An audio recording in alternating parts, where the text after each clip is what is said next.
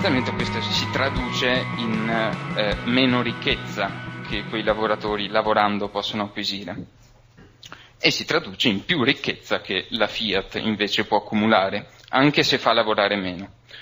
Eh, allora, questo è quello che è accaduto a livello sistemico, esattamente questo, cioè eh, attraverso insomma, tutte le politiche neoliberiste che, eh, che, ormai sono abbastanza note, le strategie, la, la, cosiddetta globalizzazione che ha portato a una drastica diminuzione dei salari e dei diritti, si è creata proprio una redistribuzione della ricchezza sociale dalla quota salariale ai mercati finanziari.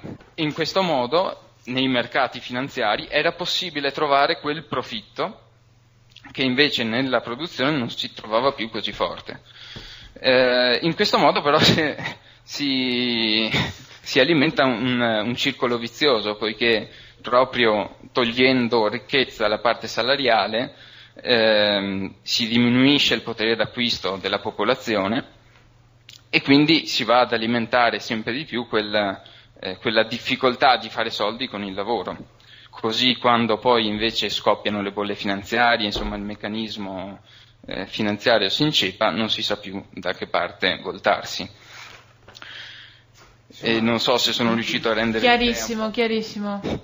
Se, se, posso provare a, a, a dirlo con altre parole, e così vediamo se, se, ho capito correttamente quello che volevi dire.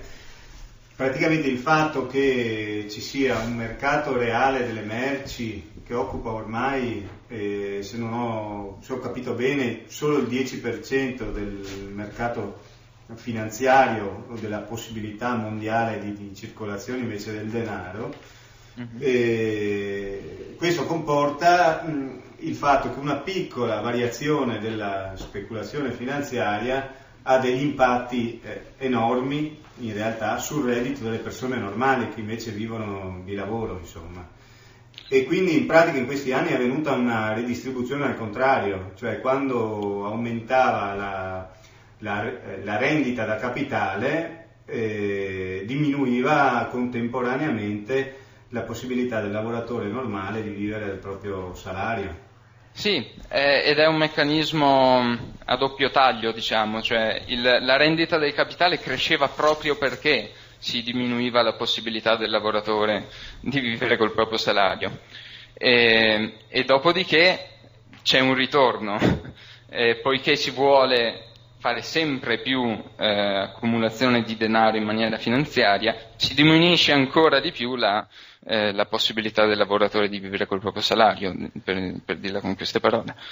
Ehm, è un po' come, come, la crisi che stiamo vivendo in questo momento, la, quella che chiamano la crisi del, del debito pubblico, eh, non, è, non, è, in realtà che un'altra fase della crisi finanziaria iniziata nel 2007-2008 e anche lì c'è un, un movimento di ritorno. Prima Prima hanno fatto pagare ai lavoratori il, i costi della, della, prima fase della crisi per poter mantenere in piedi il, eh, gli aumenti finanziari di capitale e finanziando attraverso i finanziamenti degli stati alle banche e adesso poiché gli stati si sono indebitati allora le banche dicono, eh, ma adesso noi non siamo più sicure perché gli stati non sono più sicuri. Allora si torna a chiedere ai lavoratori dei sacrifici eh, per rifinanziare gli stati così che possano finanziare di nuovo le banche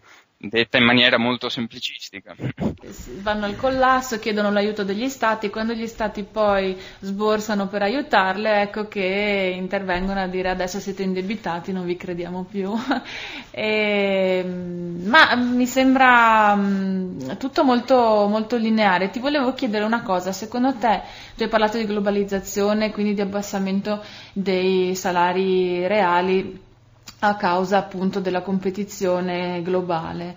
Ma eh, c'è anche un altro fattore per cui i salari, voglio dire, eh, questa ricerca del saggio di profitto, dell'aumento del saggio di profitto eh, tramite la produzione non porta con sé eh, per esasperazione vorrei dire del, della, de, del meccanismo che ricer- ricercare l'aumento del saggio di profitto attraverso l'abbassamento dei... e quindi non è un po', scusa finisco la frase, attraverso l'abbassamento dei salari e quindi non è un po' forse strutturale un po' la crisi? Sì, ehm, sì possiamo dire di sì. Il, eh, il fatto è che quello che sta succedendo adesso in effetti eh, ha degli elementi di forte novità per tutte le novità che riguardano il settore finanziario e come si è strutturato appunto il meccanismo di cui abbiamo parlato, però anche degli elementi che sono strutturali se ben guardiamo allo stesso meccanismo capitalistico dell'aumento del saggio di profitto che non,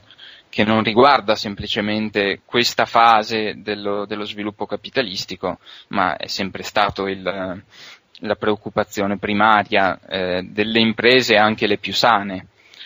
E, e, il meccanismo dell'aumento del saggio di profitto porta con sé esattamente la, la necessità di comprimere eh, il costo del lavoro, comprimere il costo del lavoro e quindi abbassare i salari e quindi aumentare quella parte di ricchezza prodotta nel processo lavorativo che va a costituire profitto, che va a costituire capitale, poiché poi può essere reinvestito. Il, il lavoratore poi lo consuma il suo salario, mentre il profitto del capitalista può essere reinvestito nel processo e quindi allargare questo processo, crescita economica.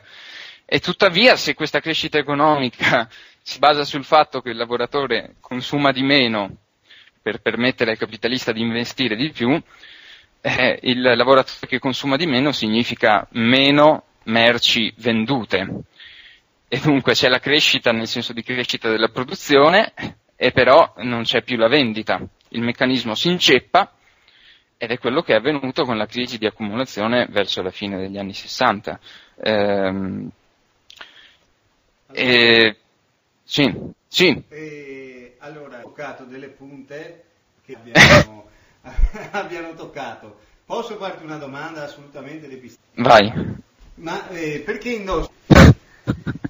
Hai una Sul mio... maglietta con divieto di capelli? No, non è una maglietta eh, con no, divieto di noi dobbiamo buttarla un po' in vacanza. È una maglietta notav, in È una realtà. maglietta notava. Sono Perché un pericoloso contro- terrorista anch'io. Sei contro lo sviluppo. Sono contro lo sviluppo. Eh, allora. Assolutamente no. I notav sono per lo sviluppo, uno Esatto, sviluppo... Bravo, bravo. Ringraziamo per il tuo lavoro e se vuoi dire due cose su Eh, ma allora, il mio lavoro insieme, insieme ad altre ricerche e interviste che, che sto facendo con- insieme alla mia ragazza, eh, sempre sul tema del neoliberismo, quindi non solo la finanziarizzazione, si trova al sito eh, www.dantes17 dantes17.wordpress.com è un po' difficile ma Ok. Comu- Grazie. Comunque cercando il capitale puro in un, in un motore di ricerca si trova. Grazie Stefano, ti linkiamo Grazie dal sito di Radio Baccan. Perfetto. Va bene. Ciao, a presto. ciao. Ciao.